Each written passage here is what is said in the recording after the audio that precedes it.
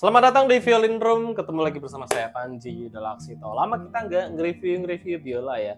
Nah kebetulan di saya ini udah ada biola Scott Guan 701. Kenapa saya review lagi? Karena Scott Guan 701 tahun 2002 itu ada perubahan. Jadi agak berbeda sama 701 yang seri lama. Nah, maka di video ini saya akan kasih tahu kira-kira apa aja sih perubahannya si Scott Guan 701. Oke, ini dia adalah biola Scott Guan 701. Dari case-nya itu sama aja ya. Ini ada tulisannya Scott Guan 701 4 per 4. Dari case-nya itu memang nggak ada perbedaan, sama aja. Terlihat sama. Terus habis itu ketika kita buka unitnya, nah seperti ini. Dalamnya masih tetap sama, warna hitam dalamnya masih tetap sama warna hitam. Terus yang pertama yang membuat perbedaan adalah di bagian rosin. Nah dulu rosinnya Scott Guan 701 itu rosin Weiseng ya rosin Weiseng yang uh, dasarnya dari kayu terus tutupnya dari kertas. Dan sekarang rosinnya nggak ada mereknya polos ini rosin curah kali ya. Oke nggak apa-apa dan kalau kalian beli biola itu apa yang harus kalian ganti pertama adalah rosin. Kenapa sih? Ya karena rosin bawaan itu rata-rata jelek. Nggak ada yang bagus serbuknya gitu loh. Jadi kalau kalian baru beli biola, apa yang harus kalian ganti pertama? Rosin. Kalau mau ganti juga beli yang agak mahalan sekalian. Karena rosin itu kan lama jangka waktunya. Bisa 4 5 tahun nggak habis-habis. Nggak kayak senar. Oke, terus dari segi bow masih sama ya. Bownya sama-sama oktagonal, sama. Nah, sekarang dari segi biolanya nih, kita akan kupas dari segi biolanya.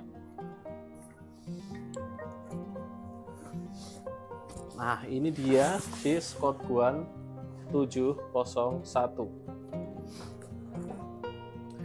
Nah, yang pertama yang terjadi perubahan adalah di bagian packnya dulu di Scott Guan 701 seri yang dulu itu packnya adalah rosewood. Dan sekarang bukan rosewood tapi ebony. Black ebony ya hitam. Nah terus di bagian chin restnya itu juga ada sedikit perubahan model. Ada sedikit perubahan model. Dulu tuh nggak kayak gini dulu. Dulu tuh yang agak kayak gini nih bentar. Nah dulu tuh modelnya model-model yang kayak gini. Tapi sekarang nggak tahu ganti model mungkin. Nah ini yang pertama, ini ebony ya teman-teman, jadi udah sangat aman, cuman memang modelnya berbeda. Nah tailpiece-nya juga udah ebony ya teman-teman ya. Dulu kan Scott Guan 701 itu rosewood, rosewood, rosewood semua, tapi sekarang udah uh, menggunakan ebony. Dan ada satu lagi perbedaan, yaitu di bagian furnace-nya. Dulu Scott Guan 701 itu seperti ini, cuman agak ngedof.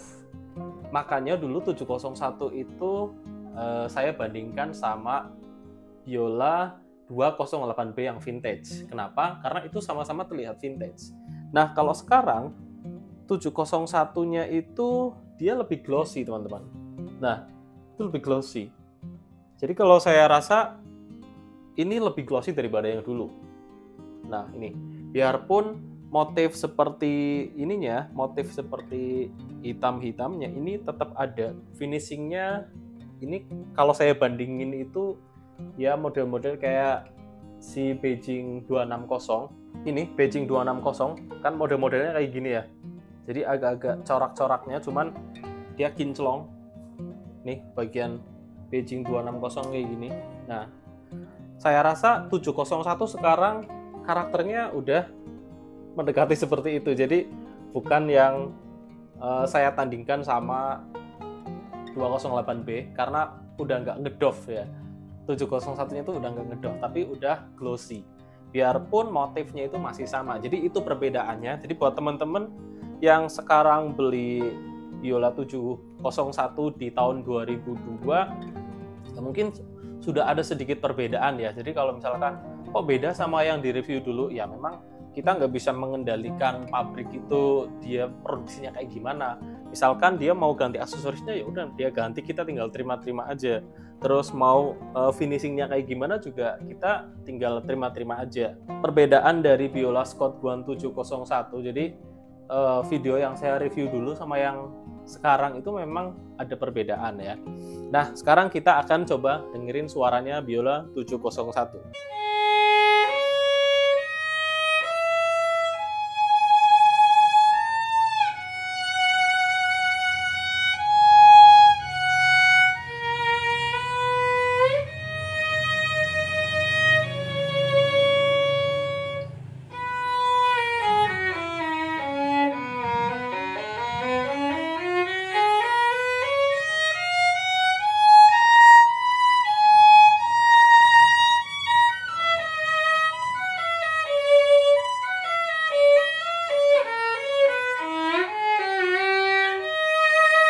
Nah, itu dia sedikit review dari saya ya tentang biola Scott Guan 701. Menurut kalian gimana? Apakah kalian masih suka yang dulu atau kalian lebih suka yang sekarang?